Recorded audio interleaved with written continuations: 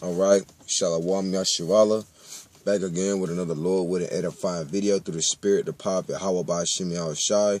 Before I begin my lesson, I want to give all honor, glory, praises to the Heavenly Father and His only begotten Son, Yahweh Bahashimi Hawashai, Bahashim Rakakwatash. Next up, the honors to the apostles and to the elders of Great Millstone, who still go out there to the highways and byways to preach the truth according to the Bible.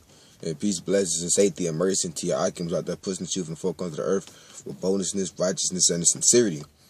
And uh, I just want to make a, little uh, a little lesson, man, the spirit, man, you know, about uh, the New Testament condemns homosexuality, man. You know, this, is not gonna be a long lesson. This is just a quick hit, but I just want to just want to push to the spirit, man. So um, this we're gonna start it. This is the book of Romans, chapter one, verse twenty six. For this cause the Most High gave them up to vile affections. Right. For this, the Most High gave, gave these Negroes, Latinos, and Native Americans up to vile affections, man. That word vile means filthy, man. Nasty, disgusting.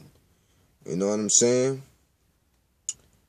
Uh, so we're going to get the affection. This is the definition of affection. That's a noun. Let me see. Hold on. Get him up to vile affection. Um, as a matter of fact, we're gonna go with it. A gentle feeling of fondness or liking. Right. So the, the Most High Yahweh Shemiah Shai gave these Negroes, Latinos, and Native Americans these two thirds up to the nasty, uh, disgusting, filthy, gentle feelings or gentle a gentle feeling of fond or liking to fondness to nasty fondness, man. Nasty, um, uh, nasty uh, feelings for each other, man. Fondness, relationship wise. For even their women, they change the natural use into that which is against nature. Right, that's going in on lesbianism, man. You women have changed the natural use of a woman to that which is against nature, man. Because a woman and a woman can't produce a child, man.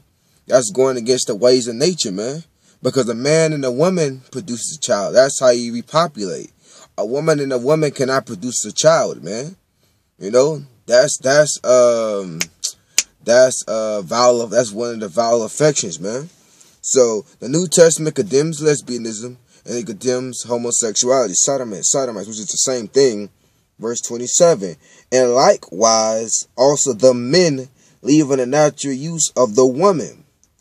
Right because the natural use of a woman is to uh, to bear your children, man. So the women, so the man is not using the natural use of a woman, which is bearing children, man. Let's see what else it says. Burning their lust towards one another. Right, men burning their lust towards one another, meaning pursuing one another, man kicking game to one another, trying to get, trying to, uh, the acts that you would do to a woman, man. That's what men are doing nowadays, man. Salakia, that there's not enough light. You know what I mean? But you can still see me through the, you can still see me. Burn to lust towards one another, men with men, working that which seem, which is unseemly. Right, and we look at that word unseemly, it means a behavior or actions that is not proper or appropriate homosexuality is not appropriate, man. Homosexuality is inappropriate, man. This homosexuality should, should be something that's um that should be banned, man. You know, but of course we're living in a wicked rulership, so that's not going to happen, man. You know, well that's what the word semen means. Something basically an action or behavior that's not appropriate, man. That's inappropriate, man. That's um, you know when you you use profanity in school, they say that's inappropriate. You know what I mean? Which is not tolerable. You know what I mean? That's something that's not supposed to be taught. That's something that's not tolerated, man. And that's what the scriptures talk about homosexuality right now. It's not tolerated. You know what I mean? And receiving in themselves that the recompense of the air which is missed. Right, and that word recompense, man, you know what I mean, means to pay back of that error, which was me, which means getting these diseases and these AIDS and stuff like that, man. The Most High putting that judgment on you homosexuals to get the diseases that you get, man. You know, you know, and these Christian churches put, uh, how should I say, they, uh, they, um, uh, how you say, uh, they, uh, they hype it up, so to speak, for slangs. They um they they um promote it. That's what it is. They promote homosexuality in churches, man. But they supposed to be men of the Lord. They supposed to be men of the Lord, man. You know? But they say that they always say, oh, the Old Testament, Old Testament. Well, we just read out the New Testament, the book of Romans. Paul, it says the same thing that the Old Testament says, man. The homosexuality is not permitted in the kingdom, man. You know what I mean?